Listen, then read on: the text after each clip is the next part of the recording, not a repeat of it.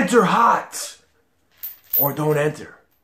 See, I was scrolling on the internet and I come across a video, CWO, Steve Brown, talking about issuing an open challenge. You know, he's mad. He's mad he lost his belt.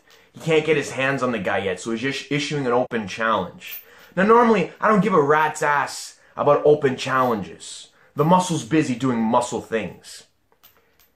But he referred to himself as daddy, and that the belt is eventually coming back to daddy.